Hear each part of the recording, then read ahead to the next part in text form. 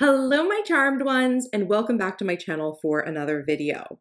So today I want to give you a highly requested tutorial on how to use the Digital Master Planner.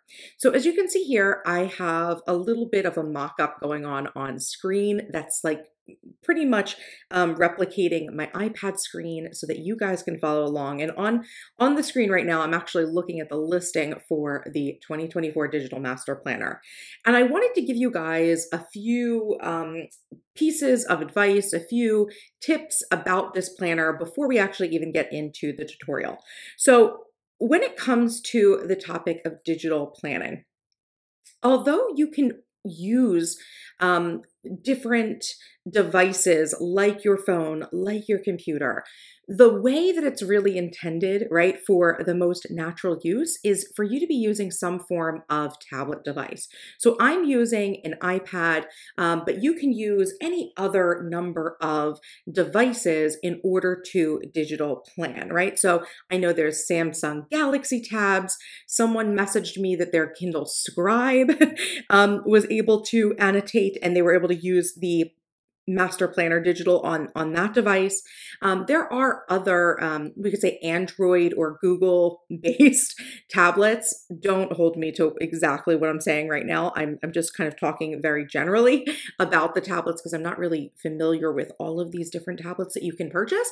But the point is is that the tablet becomes the basis for your planner and that from the tablet, you will use some form of a PDF annotation application in order to actually use the planner like you would a paper planner. So instead of writing on paper, you're writing on the screen of your tablet device. So for that reason, it's also very important that your tablet does have a pen as well, right? So I'm using my Apple Pencil with my iPad, right? So this is, you know, pretty much an ideal setup. So, um, although I do talk about, you know, you you are able to use these apps on your phone, and there are some applications that'll let you annotate um, on your computer. That really isn't going to be the best and most natural way to digital plan. So, what I want to show you today is pretty much the default for digital planning and exactly how you're going to use this file once you purchase it. Okay, so this is what I would like to show you today. So like I said, this is just the listing for the Master Planner Digital on the Charm Shop. If you add this to cart, check out, etc. right? Let's say you were to do that. I want to kind of pick up from that place, right? So the first thing I want to do is uh, go check my email. So Uh, some people have been asking how you actually get the files onto your iPad. I would recommend that you open your email client on your iPad, right? And find the email that you you received from the charm shop. It looks something like this. I know mine hasn't like fully loaded, but it says like download files. Your order from the charm shop is now complete, right? So I, I, I had done a little test order for myself. And here in the body of this email. Now it's kind of like an invoice as well because you do have some invoice information down at the bottom, but I want to stick to this central area of the email where you can see it lists the products that you've purchased and it says download. There's a column here for download, which means that when you click on any of these links, it's going to open up your actual file.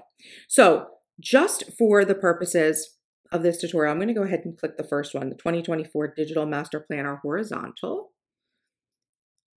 And when I do that, it opens up into a link on on the tablet, right? So here is the file. You can actually look at the file, right?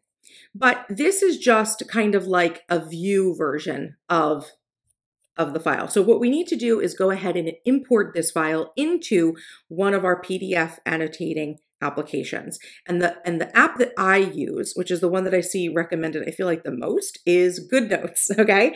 So I'm going to go ahead and, and import this file into GoodNotes. And this is how you're going to do it. I'm going to click this little, hopefully you guys can see on screen when I kind of get close to a button with my pen, it starts to um, highlight. So up on the upper right hand corner, you see that there's like this box button with an arrow pointing upwards. We're going to open that. We're going to go ahead and we're going to scroll through here until we get to open in GoodNotes. Do you see that down here? I'm going to go ahead. It's right second from the bottom, open in GoodNotes. It's editing Alexis here, and I just want to point out that you need to make sure that you have the application GoodNotes installed on your iPad before you're going to get this option. It's not some sort of default on the iPad, it's an app you do need to download off of the App Store. Okay, so here I'm able to go ahead and I can actually change the name if I wanted to, right? I could say my, well, let me just make it look nice. my 2024 planner, right? We call it that if you wanted to, whatever you want to call it, and we can import it as a new document. Now, just a side note, if you're if you already have GoodNotes up and running when you're doing this process, it's going to bring up a slightly different version of this dialog box and it's going to say something like, do you want to import it into the current document you have open or do you want to open it as a new document? You always want to import it as a new document. Okay, so I'm going to go ahead and hit import as new document. Awesome. So there is, and you hear my, my 2023 you can see is open behind it. I'll go ahead and close that out. Um, you can see here, this is the 2024 Master Planner, the cover. Now, before I hit anything here, I want to kind of get you a little bit acquainted with what's going on on screen here. Um, now, I do want to give you like full disclosure. I think you guys can see that I actually, because of this little iPad um, picture that I've layered into the video, the side, the very sides of my iPad screen are not fully visible to you. So you're going to have to take my word that there are things there um, if I'm pressing buttons. Because right now, as you see this screen, um, we have a couple of different options on um, the right side of the upper right side of this application that I want to point to you. Um, so you can see here that we have a, there's like a button here that's like a, I guess this would be to like a page flag, like or a, a bookmark. There is a button here that is a page with a plus mark. This is how you can add pages to your book. We're not going to get to that right now. There is this circular button. It looks kind of like a circle with a pen in it. Um, and then next to it, which you guys can't actually see, are three dots that if I press that, it bring, comes up with another, it says more is the, is the title of this, um, this box here. So that's what this tab is, is all about. But right now, from the view that we're in, we can see, this is very important in GoodNotes, the circle with the pen in it. Now, if I tap that, do you see how that icon actually changed to two pens? I'm kind of going back and forth. This these are the two modes essentially inside of GoodNotes that you're going to want to be aware of. And I've had some questions about this, which is why I want to point it out. So from the standard mode right now, here's the cover of our of our planner and I've just kind of slid over to the next page. And in order to use the tabs, right? Any of the any of the links that are in the planner, right? Any of them, right? So if I go over to calendar, I'm going to go ahead and tap calendar up top that tab. It's opening us to the calendars year at a glance, right? I can go and I can go to um, notes, boxed notes, right? I can go to um, March. I could go to March 13th here. Boom, boom, boom. We're able to do this because we are inside of this circle and the pen view, which is kind of like a navigation view, right? I've closed the, I've just gone and pressed the corner button, which is closing the planner. Okay, so if we switch this, let me open up here. If we switch this to the, the two kind of pens crossed option, this gives us the ability to actually write. So you're not able to use navigation while you're writing at the same time. So I'm gonna go ahead and zoom in and we're gonna go ahead and, and write. I do have the pen tool selected here. And, and this tutorial is not meant to be an exhaustive um, walkthrough of of GoodNotes, I just want to give you guys the basics so that you understand the way the application works because I've had a lot of the same questions. And a lot of that has to do with using the tabs and navigation versus writing and things like that. So here we can see I can actually like zoom in, right? So when I'm writing, I generally will zoom in really close. So let's just say, I don't know here, um, these are just goals here. I'm just going to just write anything in here, but I'm going to write it in with my pen and I have my pen tool selected. I'm using the ballpoint pen. That's my favorite option, but there's other options if you want to explore those.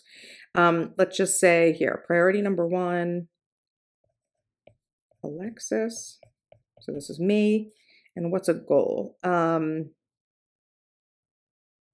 let's say continue my spiritual practice. Okay, just for, this is just, I'm just literally writing anything in. So you guys can see it. And I find that my handwriting gets better on the iPad when I am zoomed in like this, right? So zoom in and my, there's my there's my writing, right? Okay. So we also see here there's an eraser tool, right? We can erase. I can actually use the button that's like an arrow up here up top. Can you see that up in the upper right? I'm touching this button. I'm kind of going on, off, right? I can undo, right? if I want to there. There's also highlighters here. I wonder which size I'll have to use here. Highlighters. One of the nice things about the highlighters, and even I think I think it's also with this with your drawing shapes tool, is that let's say you're a little bit wobbly, but if you hold a line from point to point, it straightens out automatically. I really love that. So I'll show you guys how I do that again. So I'm just, let's pretend I'm, I'm kind of highlighting something here, but I'm not kind of, see how my hand's not steady? Okay, but before I get to the end, I hold it and it goes and straightens out. Same thing if I wanted to do something like an arc, it snaps to a, it snaps to an arc. I think that's a setting somewhere. I forget exactly where this setting, I don't know what this, oh, that's another zoom in. There's some setting I know that I set that up in. Anyway, okay, so we're going to go ahead. I'll go ahead and erase these things. Um, but that's using the highlighter tool. And then you can see here the colors. You can add your own colors. I've kind of added my own colors here. Um, also the lasso tool, right? This is a really important tool to use. Um, you can circle things and you can move them places, right? So if you, let's say you put a, um, a plan in the wrong box or something moves, you don't have to erase it and rewrite it. You can lasso it and move it where it needs to go. You can also lasso it and hold it, you kind of tap on it, and then this menu comes up and you can copy and then paste. Sorry, I just had a hiccup. right, so there's, you don't even have to rewrite things, which is some, one of the things I love. Um, there's a lot of other options in here. There is a text box, which is great if you if you don't want you don't like your handwriting and you want to use text box. And let's say you're someone whose iPad or tablet is always on a keyboard. Um, you could just write it in with and I have, you know, kind of set these fonts and everything like this. You can see I'm a Didot Italic 20 etc. These things you can mess with. You can change the fonts and things like that. I've just kind of found the font that I like the best, and I've set it to the size that kind of works really well with the planner. Um, but I've definitely adjust that when I need to. Right. So that's how you actually write. And again, right now, if I were to try to click on um, any of these like tabs, right? It, it's not letting me do it. In fact, if I am on the pen tool and I try to hit a tab, right? Did you see what just happened in April? It, it is actually going to mark it. So I'm going to erase that. So you have to make sure that you switch over views back into the navigation view. And that's how you're going to be able to, well, that was me just tapping with my hand, but you're going to be able to go and select a month that way. You're going to be able to select the weeks and select the day right? So that's the general navigation, right? Let's go ahead and go back to this page here just by navigating. I close the I close the book with the button in the corner, that open book closes it. It brings you back to home, right? Then we have the calendar tab up top. The calendar tab has quick links to some different pages inside this section the year at a glance, the yearly tracker, the overview for January, December, uh, I'm sorry, January to June, and then second one for July to December. Projects gives you the project matrix, the project tracker. Go to matrix, this is the tracker. And then when you scroll over, you start the project plans and um, these actual tabs in here, they're not tabs, these little circles. Anytime you see these circles, it means it's a quick link to a page, right? Just for helping you organize and navigate the planner. Brain Dump doesn't have anything additional in its section. Brainstorm has a topic list with, again, if you click one of these buttons, it takes you directly to a specific page. The notes, there's the three types of note pages the lined, the blank, and the boxed, right? And then you also have your divided sections, right? So you're able to actually build out divided sections. Now, so one of the ways this works here is this is because this is where you would really be using this this plus sign inside of the page icon up top. If you can see, I'm hovering over it. Can you see it? And letting go. Having hovering over it or letting go. But this icon up here, the page, it's an add a page, right? I can use this to add pages to a section. And specifically, if let's say I want to add a lined page, I can go to the lined page and hitting more, the button more, that's the three buttons that we kind of can't see. I've got them a little cut off, cropped off. I can hit copy page. Then I can go back to the section that I want to add it to. So let's say this section, add page, and then I want to add it after this page. And I'm pasting a page in. And now I have a page of notes there. You can see these are just divided sections. So they're just marked pages so that you're always able to find where you want. So you can create six divided sections inside of your planner. And if I don't like this page anymore, I can go back to the more and I can move page to trash. Right? Let's say I don't want to use that one, right? And it's gone, right? So this is the general way that you will use this planner, right? Using the navigation, right? Going into specific months, going into specific weeks, going in and actually planning your days. If you want to actually write something in, you want to make sure you're in the right mode in GoodNotes. You know, scroll into what you want and write in your task, right? Blog post. Right? And make your make your plans that way. Right? So I hope that this little mini tutorial has kind of shown you how to open your files, right, on your iPad, how to import them in GoodNotes, which is the PDF annotation reader that I use and I recommend it, but there are others out there and if you're using, you know, a device that's not an iPad, you're probably, you know, I don't think that GoodNotes is on other than anything other than an iOS device. There might be some beta versions, but there are other apps that according to my audience work much better on other alternate tablet devices.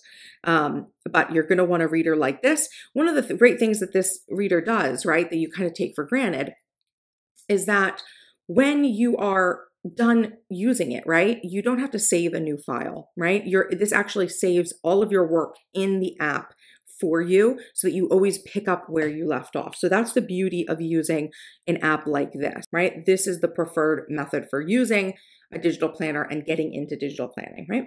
So I hope that this tutorial has been helpful. If you guys have any other questions, let me know and I'd be glad to, you know, address those for you or um, maybe if I have to, creating some more videos for you to understand how to get into digital planning. But pretty much it's all about having the right tool, right? Like a tablet, the pen, like in like you know, uh, what do you call this? A stylus sort of pen, um, so that you can write by hand, and the app, right? The actual app that you're going to be using to plan with. And of course, the right file, which in this case is the Charmed Life Master Planner Digital Edition, which I think is um, is really just phenomenal, a phenomenal option for anyone who is is trying to learn how to plan digitally. Right? It's a beautiful planner.